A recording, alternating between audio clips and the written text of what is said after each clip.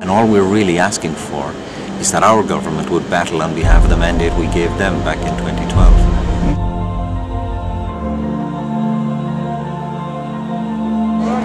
Yeah. Okay. Welcome back, guys.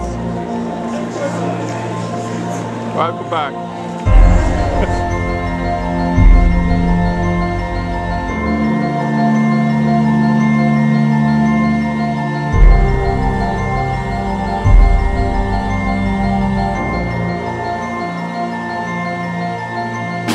We, we had an opportunity, Marcus, to present to GUE NGL, which is a group of 53 MEPs, right across the spectrum in Europe, but it includes notably Syriza and Podemos. So we got to see two countries that are really on the front line of what's happening at the moment. Um, Brussels, it was a really exhausting but a really, really worthwhile trip. We made two presentations. One was to the um, to the GUE group at the invitation of Luke Flanagan, and it went very well. Mm-hmm. All the, I think all the delegates in our group spoke very well and really, really hammered home the truth of the situation in Ireland. You know, the truth as regards the debt, the truth as regards the reality that Irish people are living with, because there's very much a false story, I think, a false narrative being told about the Irish story. You know, we're all doing great and everybody's fine and we're in recovery and, you know, unemployment and immigration and, and hunger and poverty and homelessness are all things that we just don't want to talk about. Luke Ming was very, uh, very solid in the way that he introduced us, and I think because it followed quickly after, you know, uh, a session on the Greek crisis with Greek parliamentarians, uh, you know, at, in, in attendance, it had very topical impact and very current impact. Um, and we made our presentation about the debt in Ireland and made obviously reference to Greece as well. Um, and uh, that as far as we're concerned that we were not uh, supporting the government stance here. It was great to finally realise that not only we're not alone in, in Ireland, we're not alone in Europe. It was a great, quite a great reception. Okay. Just, just to do your heart good. very interesting few days. Um, Very well received, uh, both the GUE um, presentation and the intergroup.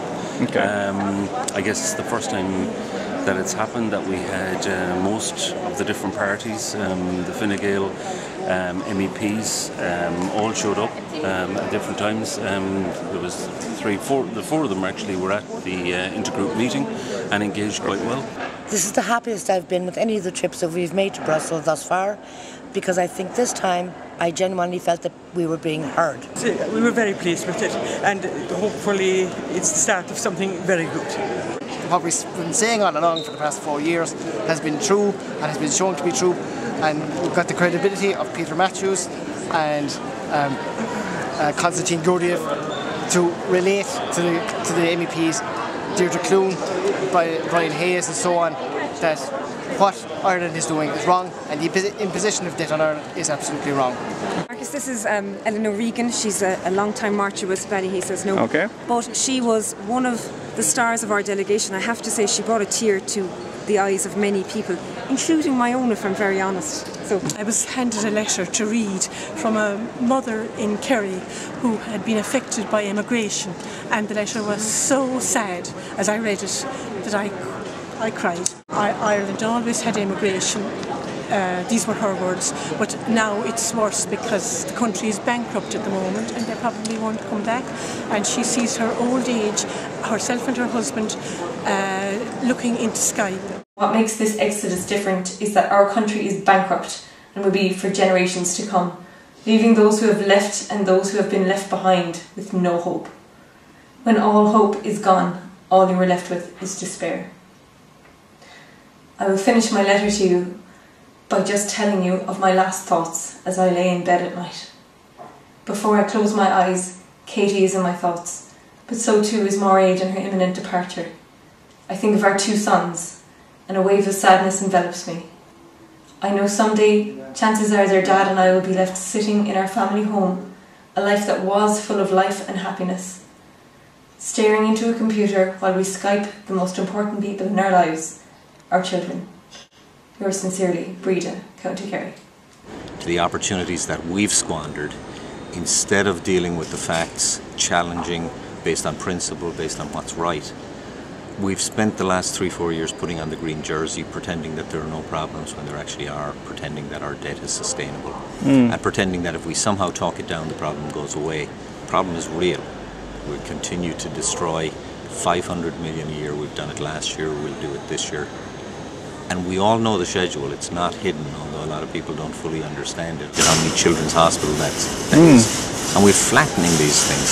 Mm. We're literally flattening these things because we're destroying the money.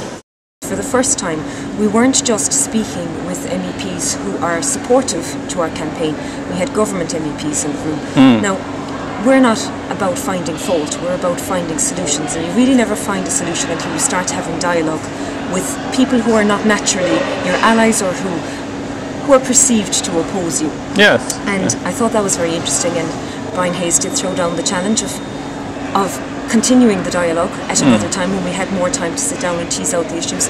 That's certainly a challenge that we will take up. And to Mairead McGuinness and to the others. And I thought it was a really big moment because, yes, I would like to sit down with them. And it's really what we've always been about. We haven't had the opportunity up to now to speak Mm. to representatives from the government in any shape or form. And so that was a very significant thing. We've always been about actually solving the problem. Yeah. And you don't find solutions until you sit and talk with everyone. We've Um, so uh, got a very good response, I think. Um, then afterwards we had a meeting uh, with the Irish MEPs and a few other different MEPs that came in. Um, and again, it was very, very good. Uh, Brian Hayes was at that meeting. And uh, he wasn't convinced um, that uh, we, we, he was convinced that we were dealing with the debt and the problems Hmm. were being solved and all that. Um, Peter Matthews really responded very well to him, explained exactly what the story was, and said, I don't think you understand really what's going on here. Um, we uh, met our Irish MEPs, Brian Hayes, uh, Mairead McGuinness, Sean Kelly, uh, Deirdre Clune, and uh, Marian Harkin. Okay. Now, uh, it would seem to me that they actually sat up and paid attention for the first time. Sort of the penny dropped with them, that it was a case that losses, particularly in the two worst banks, the, bust, the two totally busted banks, Anglo and the Irish Nationwide Building Societies, totaling about 31, 32 billion, that those losses have become to- very unfairly imposed on the Irish people. And this was a wake-up call for them. Do you think it's strange that we didn't get a referendum on the Promissory note deal at all? Oh, it, it, it's looking it's looking very bad now. I, uh, for what the Irish government did, a deal in the middle of the night, as compared to, uh, I think it was Brian Hayes said it, uh, the difference between Ireland and Greece was that Ireland had leadership.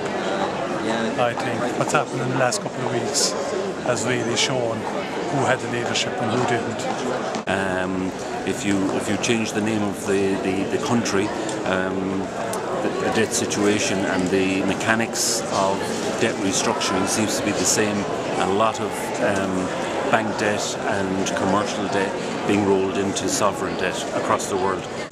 What was really interesting during our presentation was not just talking the facts to people from Syriza and to MEPs from Ireland, uh, to people from UKIP, interestingly enough, who were very anxious to attend. We had three MEPs from UKIP at our presentation. But a fantastic presentation from Constantin Gurdgiev that talked about the mechanisms by which we could actually scrub this odious debt. And it turns out from a technical perspective, it's not difficult. The underlying economics, the underlying financial modeling of us simply choosing not to burn the 23 billion in bonds that we still have in the central bank is technically feasible.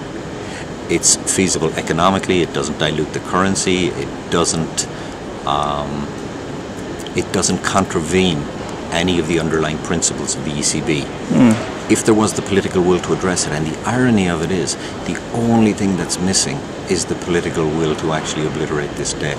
And when you compare and contrast that to what people from Syriza have done, all we're really asking for is that our government would battle on behalf of the mandate we gave them back in 2012. Okay. But I think it's going to put huge pressure on the next government and also it's going to give a huge opportunity for people to look at people who are going to say, well listen, we will do it. We will go to the um, Europe, and say we can't sustain this debt because the austerity is still going on. Low parents got to cut their, their seven-year-old kids. Pension cuts are still going ahead. So austerity is not gone, you know. So um, I would hope that progressive government uh, would be able to deal with some of these issues and go back to Europe and say, listen, this is not our debt. We have to get a, white debt, a, a write down as well. But you have to be hopeful because right is on our side. Yeah. This is a really odious debt. Yeah. We are carrying carrying the can for failed private banks and we never can forget this. And so Yeah. you have to have hope because deep down in my soul you have to believe that right will win out.